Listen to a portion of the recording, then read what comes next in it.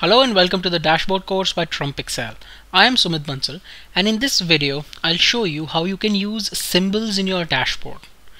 Now symbols can be used to show trends in your table, in your charts and you can color your symbols as well to show a positive trend or a negative trend. These could be really helpful to add another layer of analysis to your dashboard. So let's see how you can use symbols in your dashboards.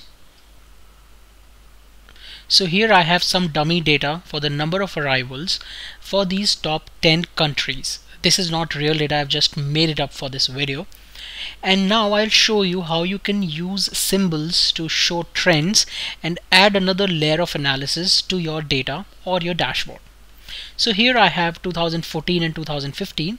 Now let me also calculate what change has happened in percentages in this year over 2014 to 2015.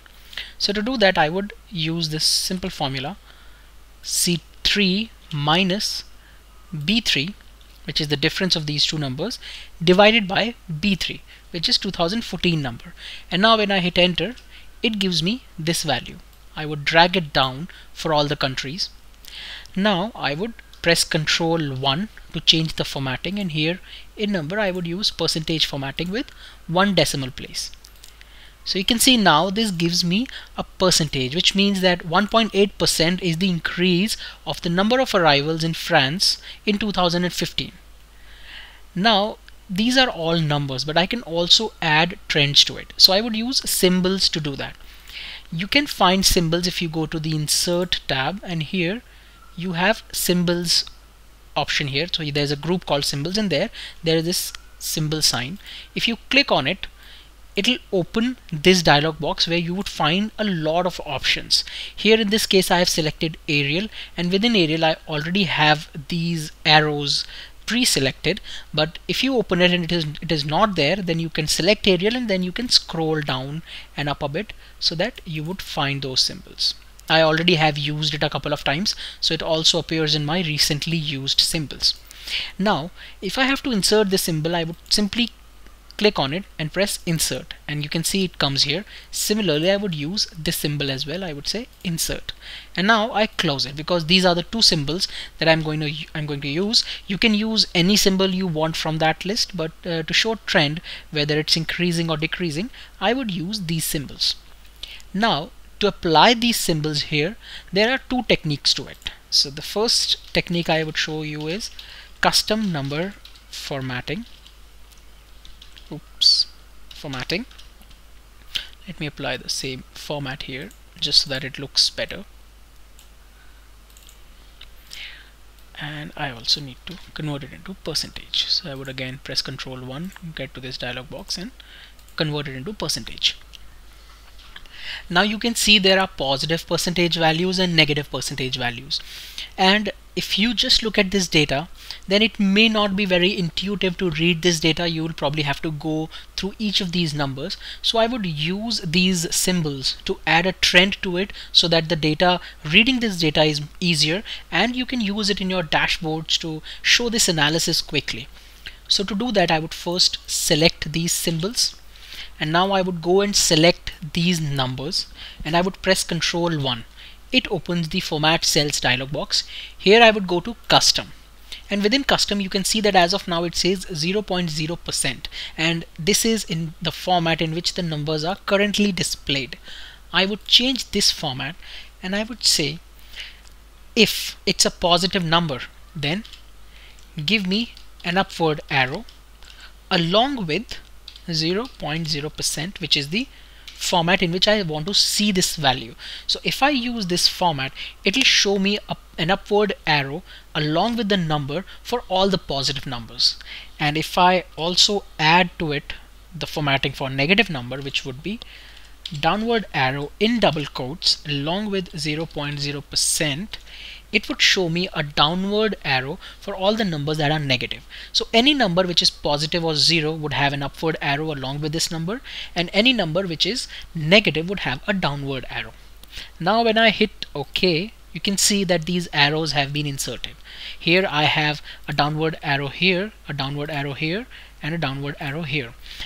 You can again improve the readability by color coding these numbers. So for example, I may want to show these downward arrow and these values in a negative in a red color. So to do that, I would again press Control 1 and here I would simply add red in square brackets and if you want to learn more about custom number formatting I've covered it in one of the videos for custom number formatting and everything is covered in detail so I would request you to go back and watch that video but uh, in essence what happens is in custom number formatting you can specify the format for positive number, negative numbers, zeros and text values.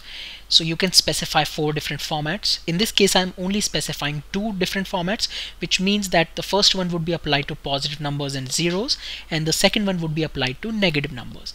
And when I mention this color in square brackets and there are a set of colors that you can use like red, green, blue, uh, black that color would be applied to the formatting. So here if I click OK you can see that instantly it has colored these three values as negative as red because these are negative values. So you would instantly know in United States in Turkey and in UK the number of visitors fell in 2015 so this is how you can do this using custom number formatting. Now let me show you another way of doing this. So let me copy the format from here.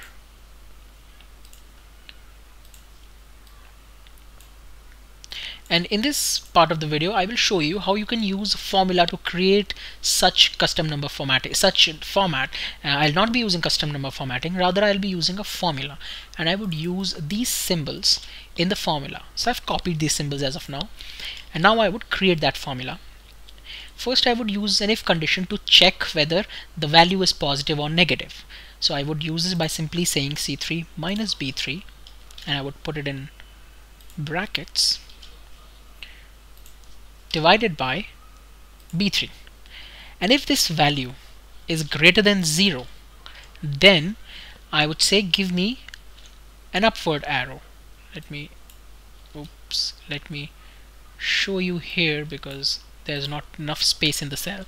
So here I would show you. Then show me this upward arrow. And if it is negative then show me the downward arrow. Now when I hit enter it gives me an upward arrow here and if I apply it for all the cells you can see it has it is giving me these arrows. Upward arrow for any number which is positive and downward arrow for which any number which is negative. You can see I have downward arrow here I have one here and I have one here. Now I also need the value. Similarly what I have here.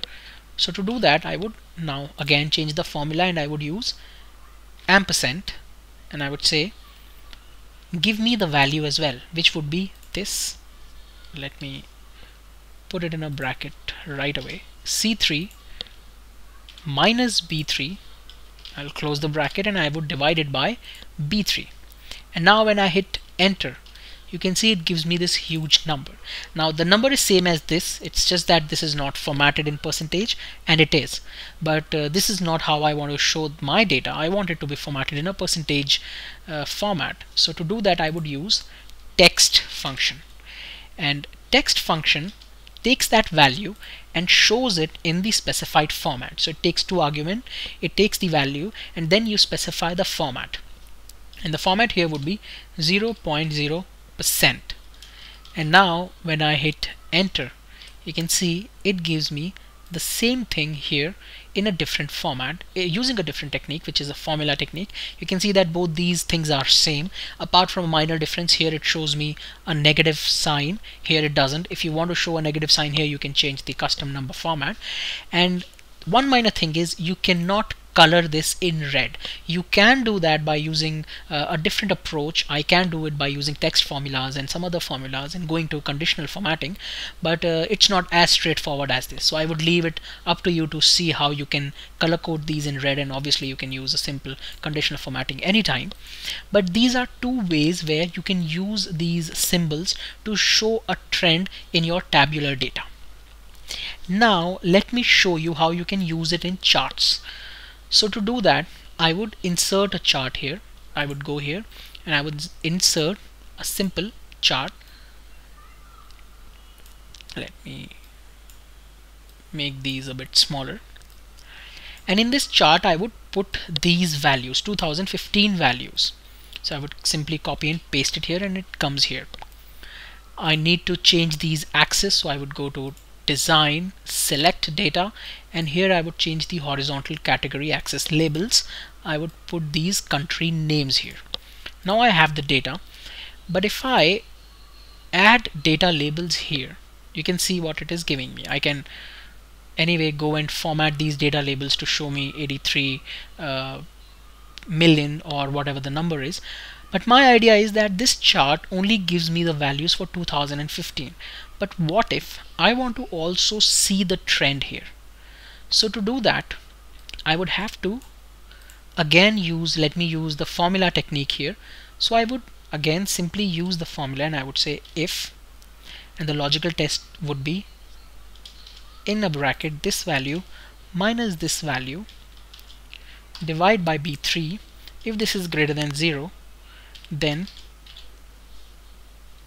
okay I'll have to copy the symbols. So I would remove this copy these symbols so that I can put it in the formula and then put the equal to again.